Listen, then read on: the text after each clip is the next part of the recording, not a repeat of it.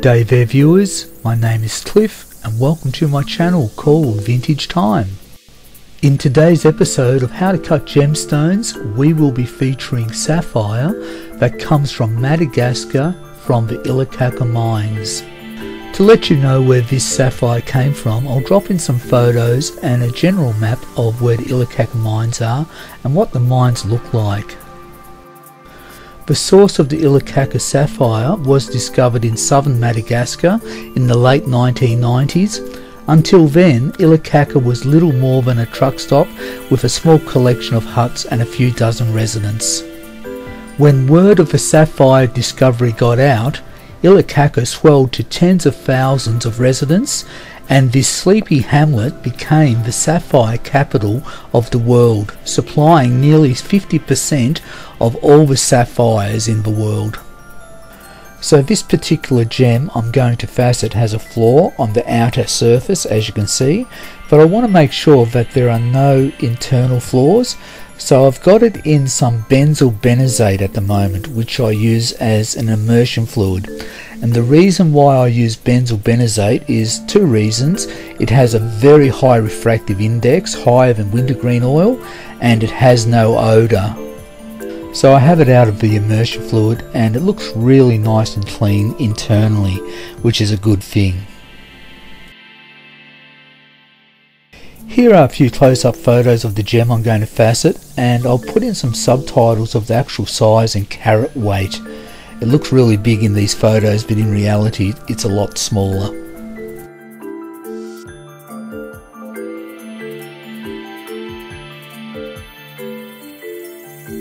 Before I start faceting there is a little bit of prep work to do. I've got a permanent marker and just marked the outer perimeter of the gem and this is the areas I want to remove when I round out the gem and it gives me an idea of the center of the gem because I'll be cutting around brilliant design. For the benefit of new viewers, I usually add this into my videos. This is the first transfer. What I need to do is glue the gem to a brass dop stick. I let it set overnight in the transfer jig and here the following day the gem is attached to the brass dopstick and then it will be placed into the quill of the faceting machine. I thought I would start this project by using a brand new disc and I'm using a 3000 grit diamond disc which essentially is a pre-polished disc. And you're probably thinking to yourself, well, why is this guy using such a fine disc on such a hard gem like sapphire, which has a Mohs hardness of 9 out of 10 on the scale?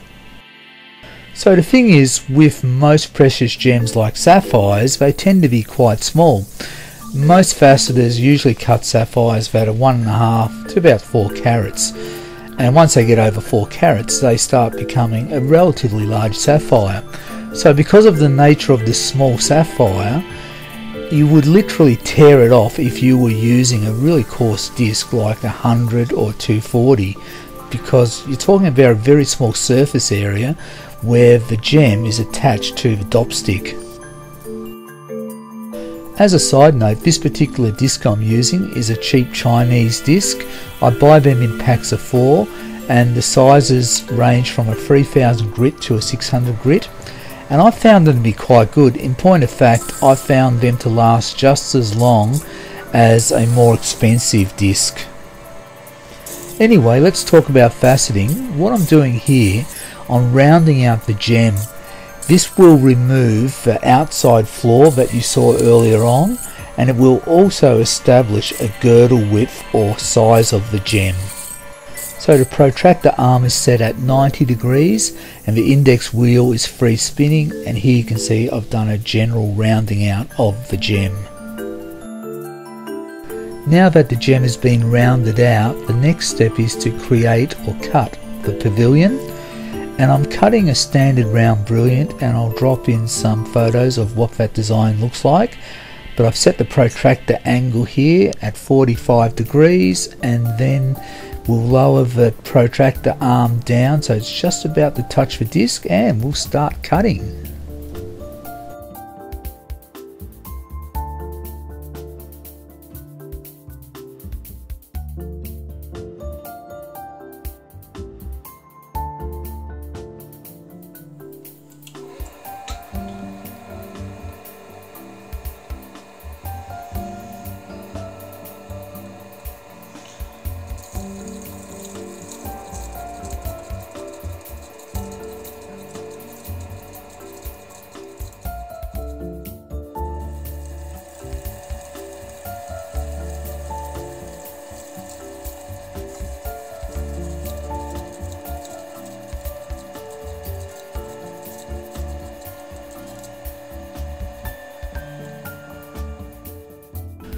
So the first set of pavilion facets have been completed using the 3000 grit diamond disc and there's a tiny little chip on the pavilion but I will remove that later on.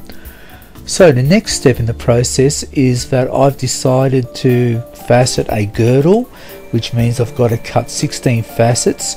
Normally a lot of faceters would not go through the effort particularly on a tiny gem as they would just choose to have a continuous girdle, which is a round girdle. But I think having a faceted girdle looks a lot classier, and a sapphire is a classy gem.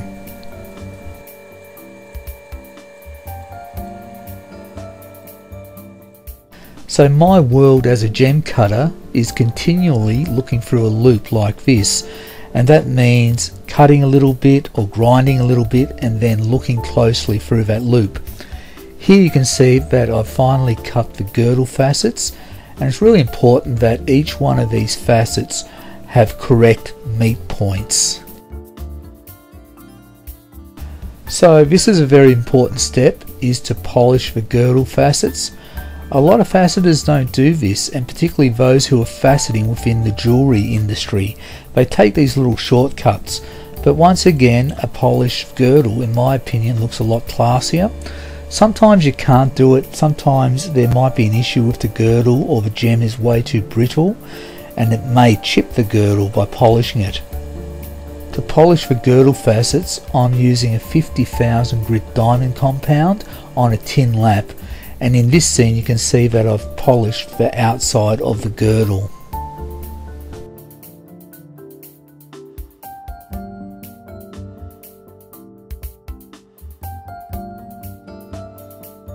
So the next step is to cut the next tier of pavilion facets and to do this the angle of the protractor arm is set at 43 degrees. I thought I would mention also that when you're faceting such tiny gems, it's really important to use a very light touch. If you go in too heavy and press too hard, it's a very good chance that the gem will tear off the dop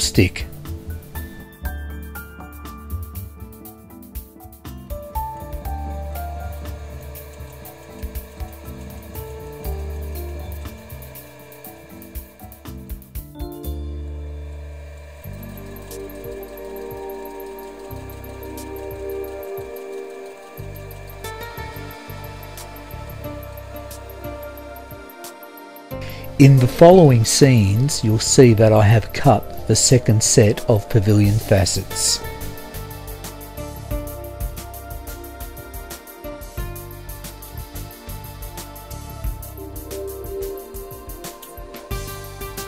So now it's time to polish all those pavilion facets and once again I'm using a tin lap with a 50,000 grit diamond compound.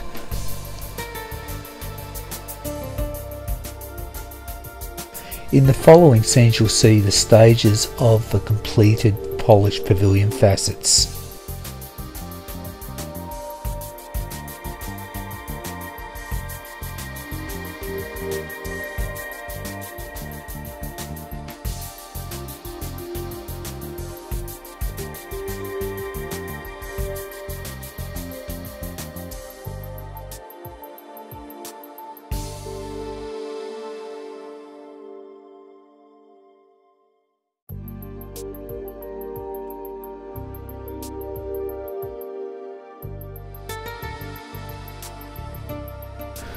On to part 2 which is faceting the crown and we have the secondary transfer of the gem which is gluing another dop stick onto the gem and retaining it within the transfer jig overnight and then removing the original dop stick and I usually use a scalpel blade to do this.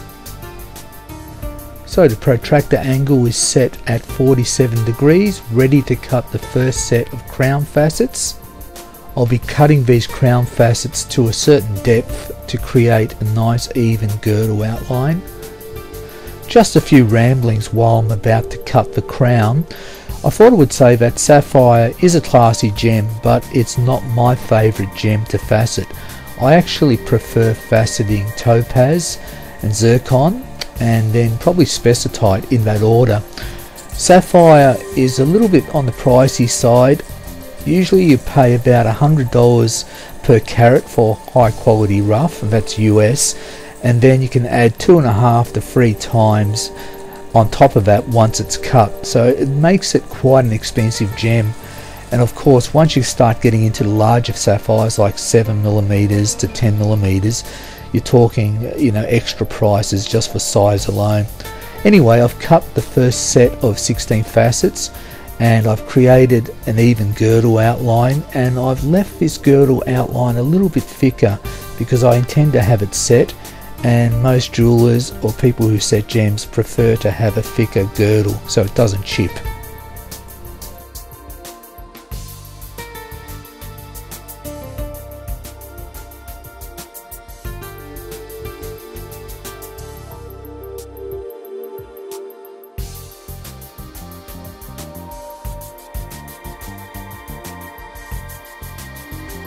Bye.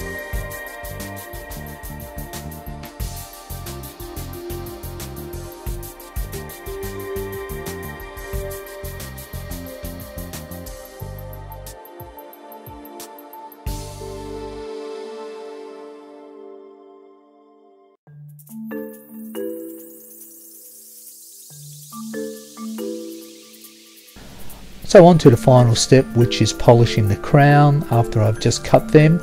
So I'm adding sewing machine oil, a couple of drops and lightly just rub the oil onto the surface of the tin lap. I'm just using some toilet paper. You can use tissue paper. And then I will add the 50,000 grit diamond compound and then start polishing the facets in order from the crown facets first tier then I'll facet the second tier of crown facets the star facets and last but not least the table.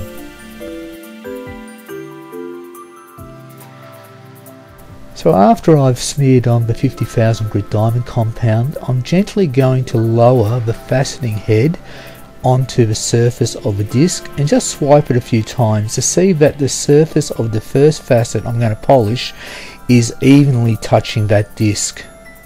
Doing this will leave a tiny little bit of a smear mark on your disc from the oil and then you can look on the underside of the facet to see where the contact point is.